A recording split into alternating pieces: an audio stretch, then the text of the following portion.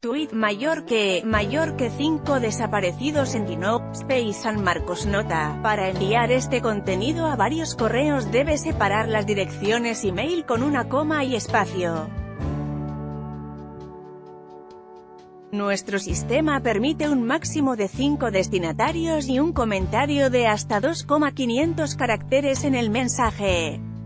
Destinatarios, remitente, comentario enviar por, enlace compartido exitosamente, por no hemos podido compartir el enlace en este momento, inténtelo de nuevo más tarde. Mayor que, mayor que 5 desaparecidos en Dino, Space San Marcos familiares de los tres protestantes desaparecidos se dirigieron a la parroquia Santiago en busca de ayuda y circularon las fotos de estos en las redes sociales. Civiles armados pro-gobierno son señalados como responsables de la desaparición de tres personas durante el ataque a un tranque en Gino, Space y del secuestro de un conductor de bus y su ayudante en San Marcos.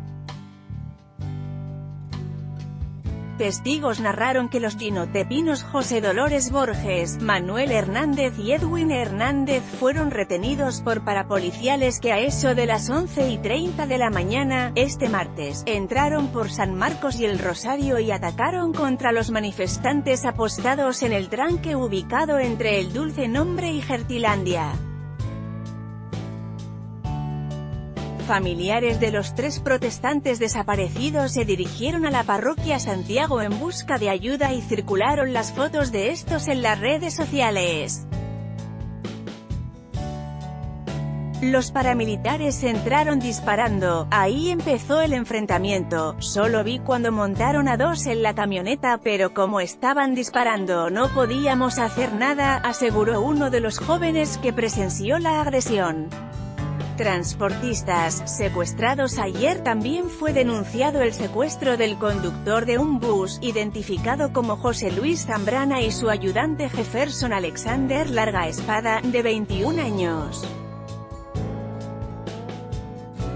Según testigos, el microbús de la ruta Gino-Managua, placa M2423, fue retenido la tarde de ayer en el sector de las cuatro esquinas de San Marcos por parapoliciales que tras obligar a bajar a los pasajeros que viajan en la unidad, se llevaron al conductor y su ayudante sin que se conozca su paradero. Ellos venían normal de Managua hacia Diriamba, traían como con 19 pasajeros, a eso de las 4 de la tarde, pero en las esquinas los paramilitares bajaron a las personas, al cobrador y al chofer se los llevaron, la gente se montó corriendo en otro bus, relató un conductor de mototaxi, quien pidió el anonimato.